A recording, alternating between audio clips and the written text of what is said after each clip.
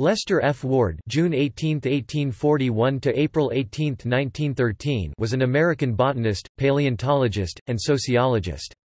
He served as the first president of the American Sociological Association. Ward promoted the introduction of sociology courses into American higher education. His belief that society could be scientifically controlled was especially attractive to intellectuals during the Progressive Era. His influence in certain circles see, the social gospel was affected by his opinions regarding organized priesthoods, which he believed had been responsible for more evil than good throughout human history. Ward emphasized the importance of social forces which could be guided at a macro level by the use of intelligence to achieve conscious progress, rather than allowing evolution to take its own erratic course as proposed by William Graham Sumner and Herbert Spencer. Ward emphasized universal and comprehensive public schooling to provide the public with the knowledge a democracy needs to successfully govern itself. A collection of Ward's writings and photographs is maintained by the Special Collections Research Center of the George Washington University. The collection includes articles, diaries, correspondence, and a scrapbook. GWU's Special Collections Research Center is located in the Estelle and Melvin Gelman Library. Biography Most, if not all of what is known about Ward's early life comes from the definitive biography, Lester F. Ward, a personal sketch, written by Emily Palmer Cape in 1922, where she writes in the foreword, Cape explained later in the foreword, in a footnote on pp. 5–6, Cape notes, on February 20, 1911, in replying to my asking him to write his autobiography, he says, I don't want to write my autobiography and have it appear while I am alive. It doesn't seem the thing to do. You are the one to write my biography from all the data that I shall leave, but it will be done after I have left them." The «data» signified the diaries. The above italics are in Dr. Ward's letter. Topic. Early life Lester Frank Ward was born in Joliet, Illinois, the youngest of ten children born to Justus Ward and his wife Silence Rolfe Ward. Justus Ward D. was of old New England colonial stock, but he wasn't rich, and farmed to earn a living. Silence Ward was the daughter of a clergyman. She was a talented perfectionist, educated and fond of literature. When Lester Frank was one year of age, the family moved closer to Chicago, to a place called Cass, now known as Downers Grove, Illinois, about 23 miles from Lake Michigan. The family then moved to a homestead in nearby St. Charles, Illinois, where his father built a sawmill business making railroad ties. Early education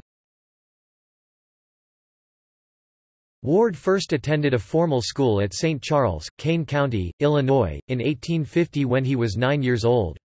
He was known as Frank Ward to his classmates and friends and showed a great enthusiasm for books and learning, liberally supplementing his education with outside reading. Four years after Ward started attending school, his parents, along with Lester and an older brother, Erastus, traveled to Iowa in a covered wagon for a new life on the frontier. Four years later, in 1858, Justus Ward unexpectedly died, and the boys returned the family to the old homestead they still owned in St. Charles.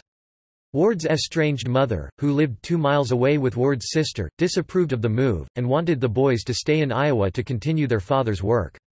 The two brothers lived together for a short period of time in the old family homestead they dubbed, Bachelor's Hall doing farm work to earn a living, and encouraged each other to pursue an education and abandon their father's life of physical labor. In late 1858, the two brothers moved to Pennsylvania at the invitation of Lester Frank's oldest brother Cyrenus, nine years Lester Frank's senior, who was starting a business making wagon wheel hubs and needed workers.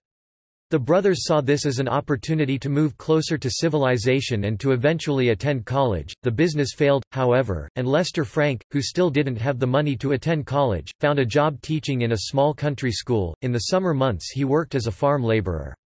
He finally saved the money to attend college and enrolled in the Susquehanna Collegiate Institute in 1860.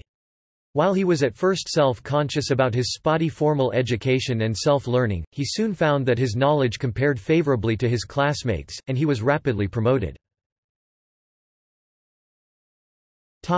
Marriage and Civil War service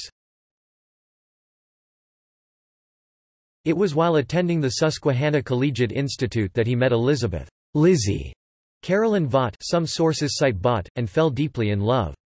Their rather torrid love affair was documented in Ward's first journal Young Ward's Diary. They married on August 13, 1862. Almost immediately afterward, Ward enlisted in the Union Army and was sent to the Civil War front where he was wounded three times. After the end of the war he successfully petitioned for work with the federal government in Washington, D.C., where he and Lizzie then moved. Lizzie assisted him in editing a newsletter called, The Iconoclast, dedicated to free thinking and attacks on organized religion. She gave birth to a son, but the child died when he was less than a year old. Lizzie died in 1872.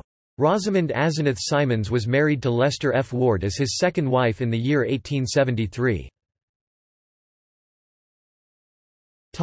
College After moving to Washington, Ward attended Columbian College, now the George Washington University, and graduating in 1869 with the degree of A.B. In 1871 he received the degree of LL.B., and was admitted to the bar of the Supreme Court of the District of Columbia, and that of AM in 1873. Research career and U.S. Geologic Survey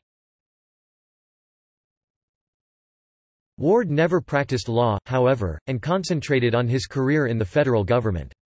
Almost all of the basic research in such fields as geography, paleontology, archaeology and anthropology were concentrated in Washington, D.C., at this time in history, and a job as a federal government scientist was a prestigious and influential position.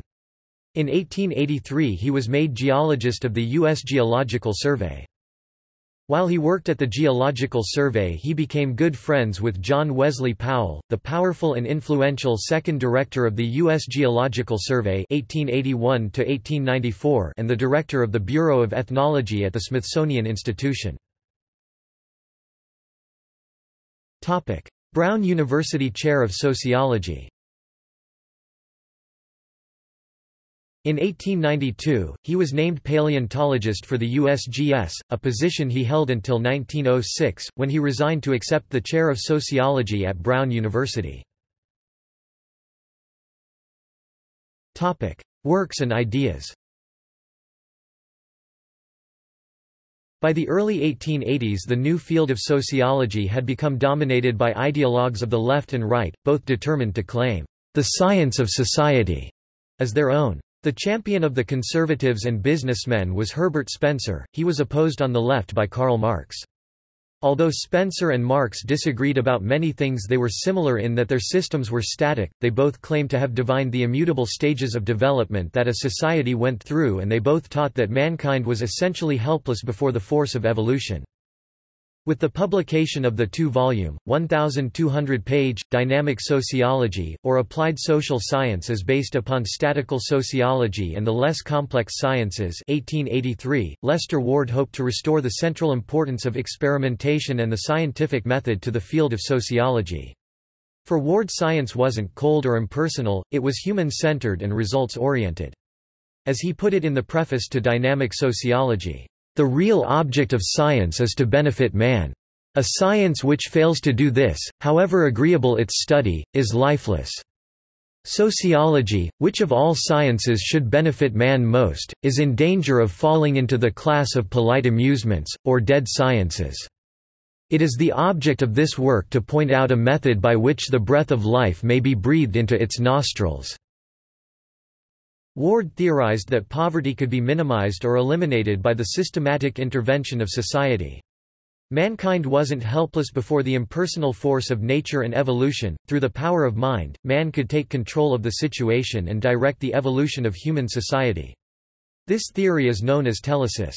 Also see, meliorism, sociocracy and public sociology. A sociology which intelligently and scientifically directed the social and economic development of society should institute a universal and comprehensive system of education, regulate competition, connect the people together on the basis of equal opportunities and cooperation, and promote the happiness and the freedom of everyone. Criticism of laissez-faire Ward is most often remembered for his relentless attack on Herbert Spencer and his theories of laissez-faire and survival of the fittest that totally dominated socio-economic thought in the United States after the American Civil War. While Marx and communism, socialism didn't catch on in the United States during Ward's lifetime, Spencer became famous, he was the leading light for conservatives. Ward placed himself in direct opposition to Spencer and Spencer's American disciple, William Graham Sumner, who had become the most well-known and widely read American sociologist by single-mindedly promoting the principles of laissez-faire. To quote the historian Henry Steele Commager, Ward was the first major scholar to attack this whole system of negativist and absolutist sociology and he remains the ablest. Before Ward could begin to formulate that science of society which he hoped would inaugurate an era of such progress as the world had not yet seen, he had to destroy the superstitions that still held domain over the mind of his generation. Of these, laissez-faire was the most stupefying, and it was on the doctrine of laissez-faire that he trained his heaviest guns. The work of demolition performed in dynamic sociology, psychic factors and applied sociology was thorough.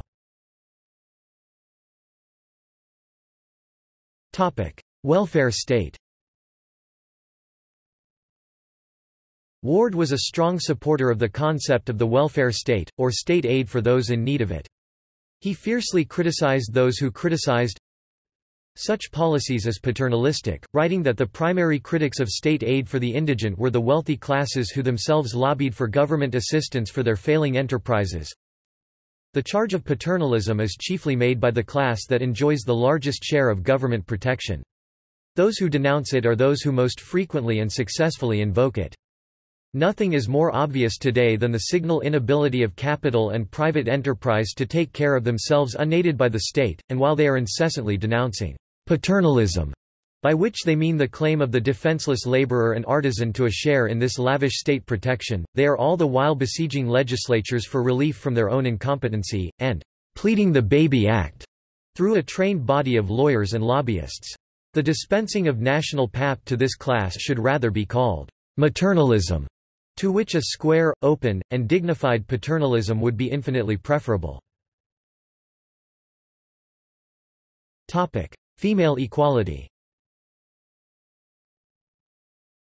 Ward was a strong advocate for equal rights for women and even theorized that women were naturally superior to men, much to the scorn of mainstream sociologists.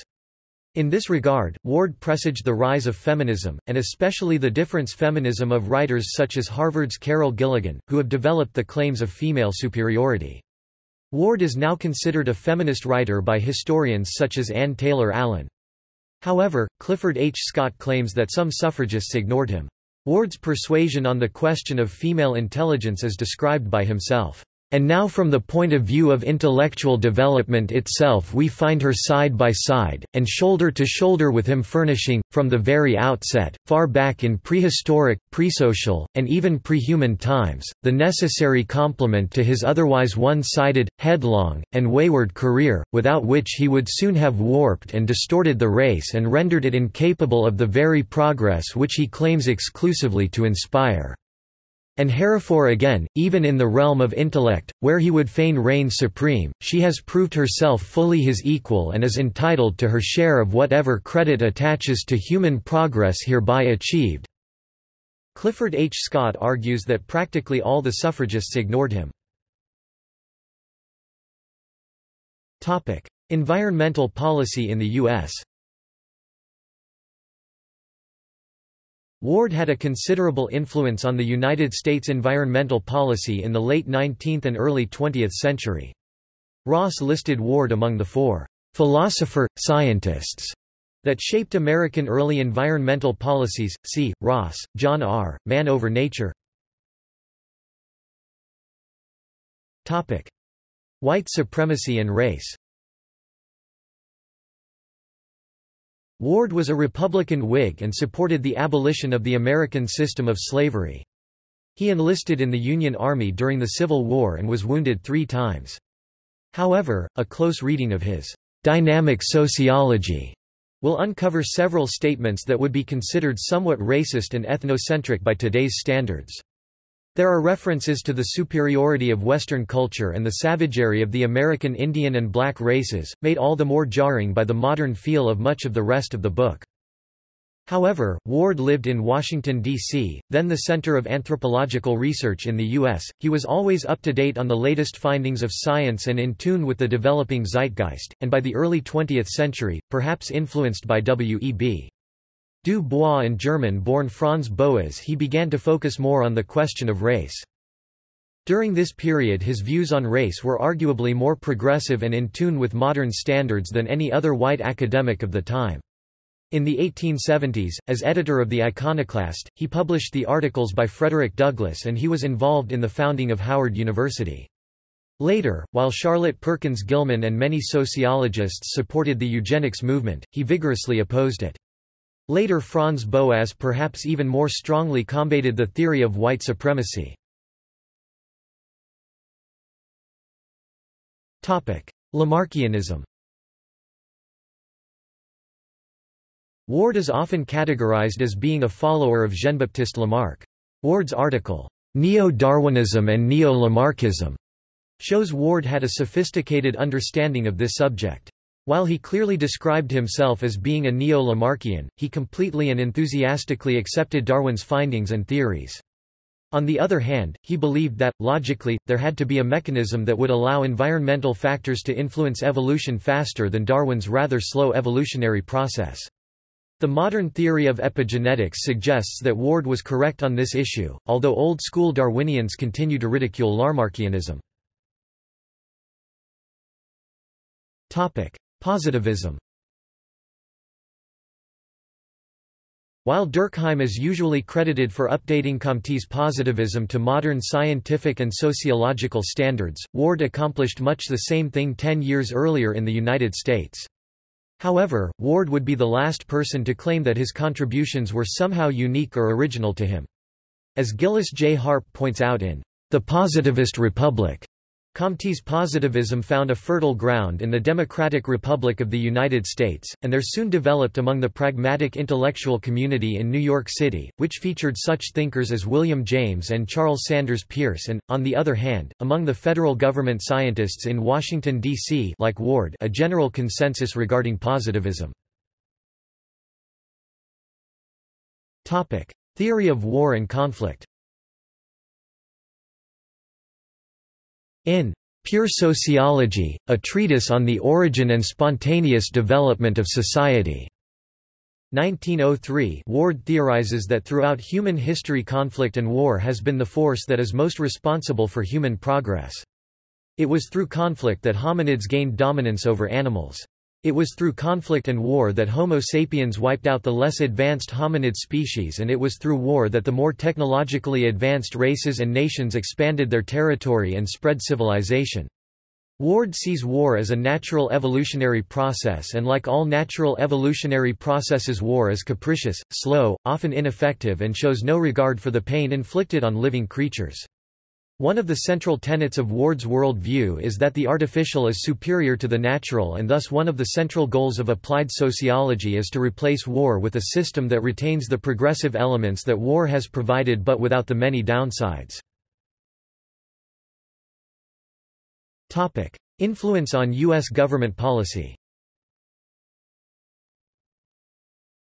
Ward influenced a rising generation of progressive political leaders, such as Herbert Croly. In the book Lester Ward and the Welfare State, Commager details Ward's influence and refers to him as the father of the modern welfare state. As a political approach, Ward's system became known as social liberalism, as distinguished from the classical liberalism of the 18th and 19th centuries which featured such thinkers as Adam Smith and John Stuart Mill. While classical liberalism had sought prosperity and progress through laissez-faire, Ward's American social liberalism sought to enhance social progress through direct government intervention. Ward believed that in large, complex and rapidly growing societies human freedom could only be achieved with the assistance of a strong democratic government acting in the interest of the individual. The characteristic element of Ward's thinking was his faith that government, acting on the empirical and scientifically based findings of the science of sociology, could be harnessed to create a near-utopian social order. Progressive thinking had a profound impact on the administrations of Presidents Theodore Roosevelt, Woodrow Wilson, Franklin D. Roosevelt and Lyndon B. Johnson and on the liberal wing of the modern Democratic Party. Ward's ideas were in the air but there are few direct links between his writings and the actual programs of the founders of the welfare state and the New Deal. Topic Ward's diaries All but the first of his voluminous diaries were reportedly destroyed by his wife after his death. Ward's first journal, Young Ward's Diary, a human and eager record of the years between 1860 and 1870, remains under copyright. Ward died in Washington, D.C. He is buried in Watertown, New York. Topic quotes topic Literature Becker, Ernest. Escape from Evil. Free Press, reissue edition. 1985. John Chynoweth Burnham 1956. Lester Frank Ward in American Thought. Annals of American Sociology. Washington, D.C., Public Affairs Press. Samuel Chugerman 1939. Lester F. Ward, The American Aristotle, A Summary and Interpretation of His Sociology. Literary Licensing, LLC. ISBN 1-258-10598-5.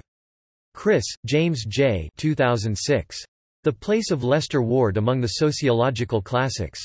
Journal of Classical Sociology. 6 1, 5–21 doi 10.117714687995X060612882. Commager, Henry Steele 1950. Lester Ward and the Science of Society. The American Mind, An Interpretation of American Thought and Character since the 1880s. Yale University Press. ISBN 0-300-00046-4. Commager, Henry Steele, ed. Lester Ward and the Welfare State. New York, Bobbs-Merrill, 1967. Coser, Louis.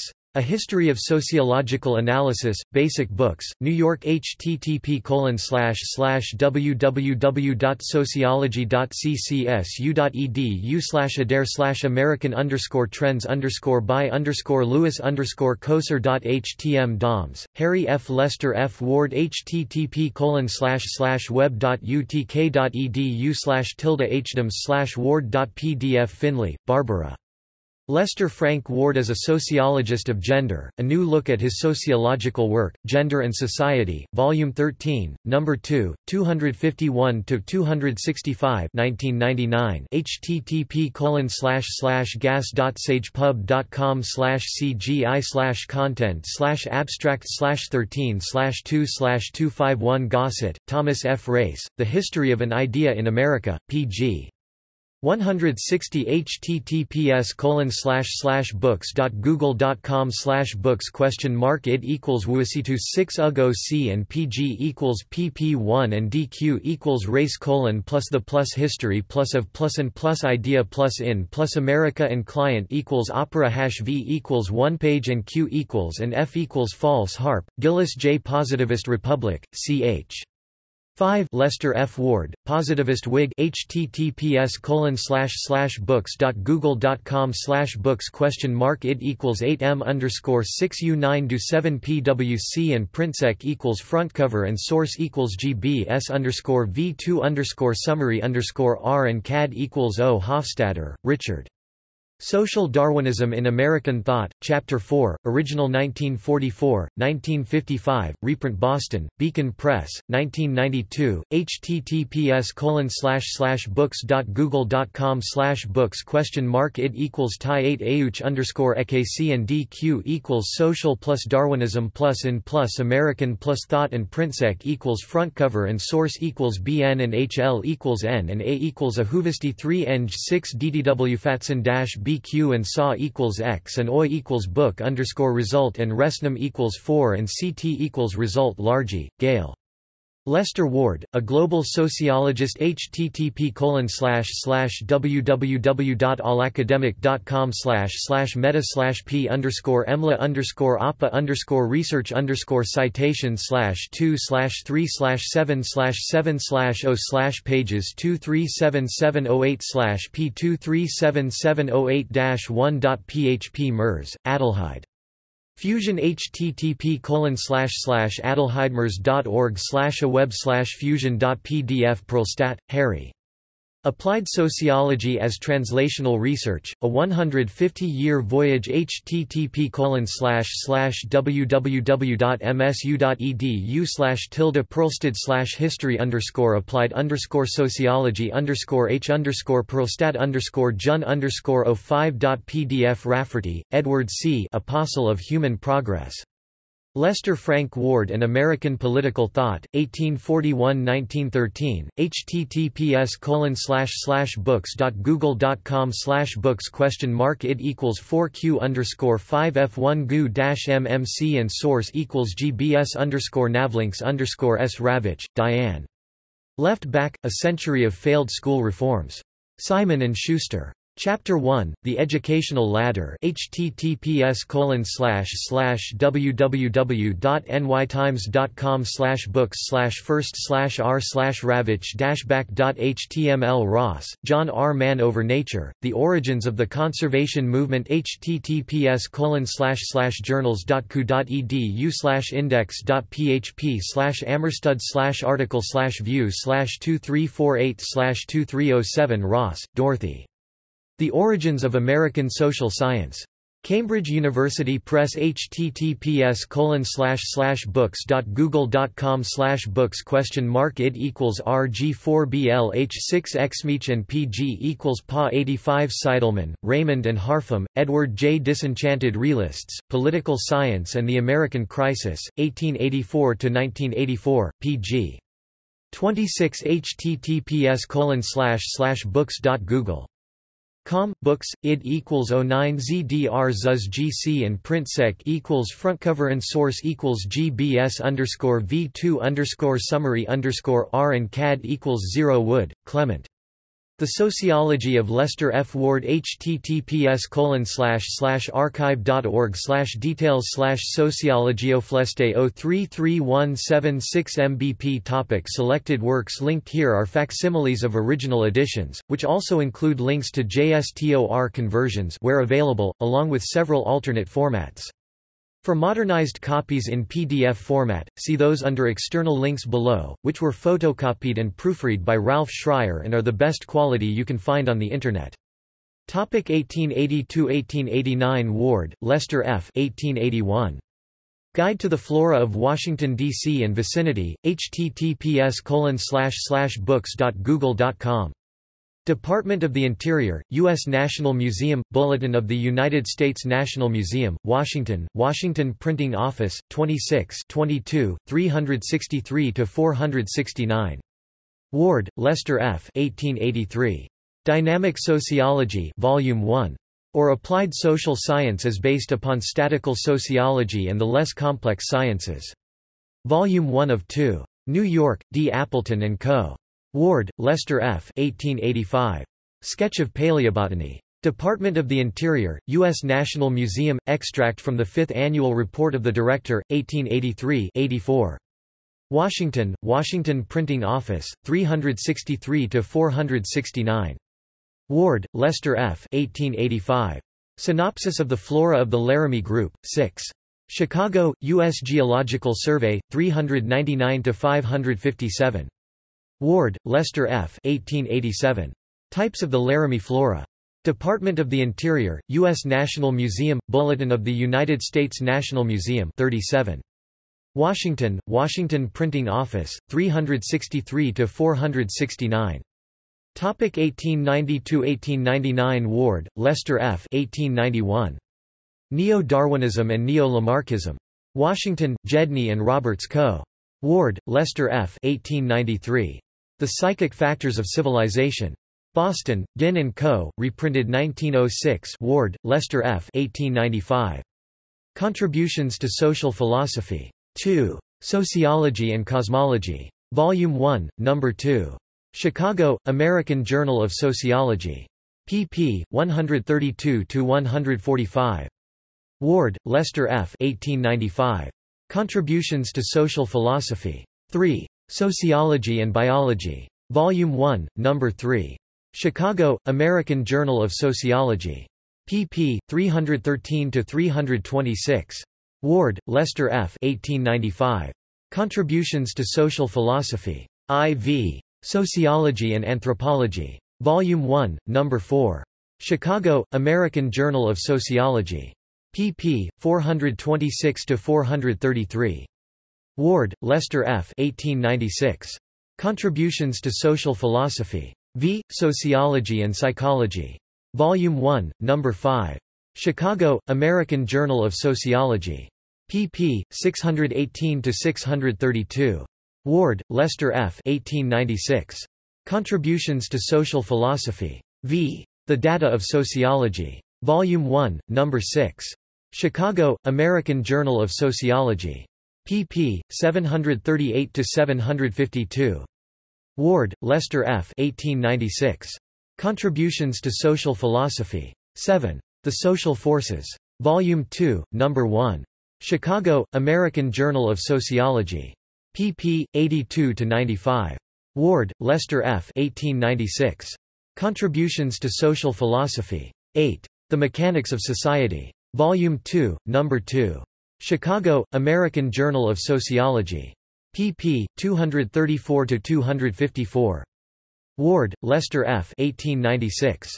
Contributions to Social Philosophy. Ix. The Purpose of Sociology. Volume 2, Number 3. Chicago, American Journal of Sociology. pp. 446–460. Ward, Lester F. 1897. Contributions to Social Philosophy. X, Social Genesis. Volume 2, Number 4. Chicago, American Journal of Sociology. pp. 532–546. Ward, Lester F. 1897. Contributions to Social Philosophy. 11. Individual Telesis. Volume 2, Number 5. Chicago, American Journal of Sociology. pp. 699–717. Ward, Lester F. 1897.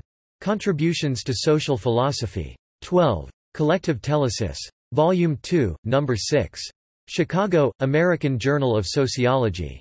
pp. 801–822. Ward, Lester F. 1897.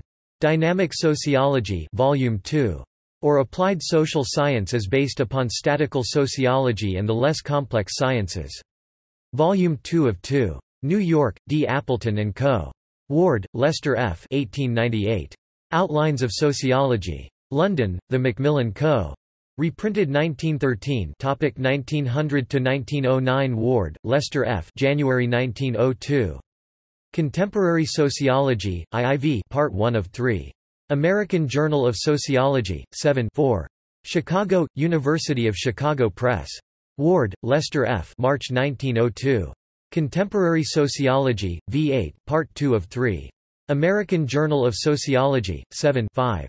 Chicago, University of Chicago Press, 629–658. Ward, Lester F. May 1902. Contemporary Sociology, X12 Part 3 of 3. American Journal of Sociology, 7.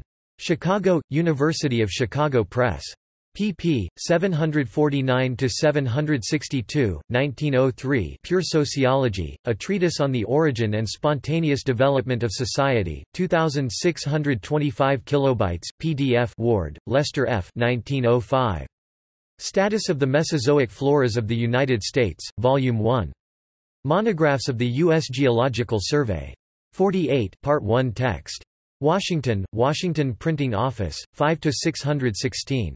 With the collaboration of William M. Fontaine, Arthur Bibbins, and G. R. Wieland Ward, Lester F. 1905. Status of the Mesozoic Floras of the United States, Volume 2. Monographs of the U.S. Geological Survey. 48 Part 2 plates. Washington, Washington Printing Office, approximately 500 pp. With the collaboration of William M. Fontaine, Arthur Bibbins, and G. R. Wieland Dealey, James Q., Ward, Lester F. 1905. A Textbook of Sociology. London, The Macmillan Co. Ward, Lester F. 1906. Applied Sociology. A Treatise on the Conscious Improvement of Society by Society. New York, et al., Ginn & Co. Ward, Lester F. 1908. Social Classes in the Light of Modern Sociological Theory. Volume 13. Chicago, American Journal of Sociology. pp. 617–627. Topic 1910 to 1919 Ward, Lester F. 1913. Eugenics, Euthenics, and Eudemics. Chicago, American Journal of Sociology. pp. 737–754. Ward, Lester F. 1913–1918. Glimpses of the Cosmos, Volume 1. 6 vols. New York and London, G. P. Putnam's Sons. Ward, Lester F. 1913–1918. Glimpses of the Cosmos, Volume 2. 6 vols. New York and London, G. P. Putnam's Sons. Ward, Lester F. 1913–1918. Glimpses of the Cosmos, Volume 3. 6 vols. New York and London, G. P. Putnam's Sons. Ward, Lester F. 1913–1918. Glimpses of the Cosmos, Volume 4. 6 vols. New York and London, G. P. Putnam's Sons. Ward, Lester F. 1913–1918. Glimpses of the Cosmos, Volume 5. 6 vols. New York and London, G. P. Putnam's Sons. Ward, Lester F. 1913–1918. Glimpses of the Cosmos, Volume 6. 6 vols. New York and London, G. P. Putnam's Sons. Topic see also History of feminism topic References topic Further reading topic Primary sources Commager, Henry Steele, ed., Lester Frank Ward and the Welfare State 1967, Major writings by Ward, and long introduction by Commager Stern, Bernhard J. ed. Young Ward's Diary, a human and eager record of the years between 1860 and 1870 as they were lived in the vicinity of the little town of Towanda, Pennsylvania, in the field as a rank-and-file soldier in the Union Army, and later in the nation's capital, by Lester Ward who became the first great sociologist this country produced 1935. Secondary sources Bannister, Robert. Sociology and Scientism, The American Quest for Objectivity, 1880–1940 1987, pp 13–31. Burnham, John C. Lester Frank Ward as Natural Scientist. American Quarterly 1954 6 No. 3 pp. 259–265 in JSTOR Chugerman, Samuel. Lester F. Ward, The American Aristotle, A Summary and Interpretation of His Sociology Duke University Press, 1939 Fine, Sidney. Laissez-faire and the General Welfare State, A Study of Conflict in American Thought, 1865–1901 1956, pp 252–88 Muccigrosso, Robert, ed. Research Guide to American Historical Biography 1988-3, 1570-4 Nelson, Alvin F. Lester Ward's Conception of the Nature of Science. Journal of the History of Ideas 1972-33 No. 4 pp. 633-638 in JSTOR Scott, Clifford H. Lester Frank Ward 1976. External links. Topic. Primary sources. Guide to the Lester Frank Ward Collection, 1860–1913, Brown University Library Collections. Guide to the Lester Frank Ward Papers, 1883–1919, Special Collections Research Center, Estelle and Melvin Gelman Library, the George Washington University Smithsonian Institution Archives. Lester Frank Ward Papers, 1882–1913, with related materials to circa 1965. http collections.si.edu. Retrieved 23 August 2013. Lester Ward Search of Archive.org. Internet Archive Search, Ward, Lester https archive.org Retrieved the 23 August 2013. Topic. Secondary sources Ralph Schreier. Lester Frank Ward, Sociology, Primary Resources. http www.geocities.ws Ralph Schreier Retrieved 23 August 2013. The Sunday Review, Towanda, Pennsylvania Short biography A Lester Ward website Public Sociology website Mansfield University sociology professor Gail Largey produced a 90-minute documentary on Lester Frank Ward that was featured at the 2005 centennial of the American Sociological Association and is available upon request from the director. Works by or about Lester Frank Ward at Internet Archive. Works by Lester Frank Ward at LibriVox public domain audiobooks. Lester Frank Ward at Find a Grave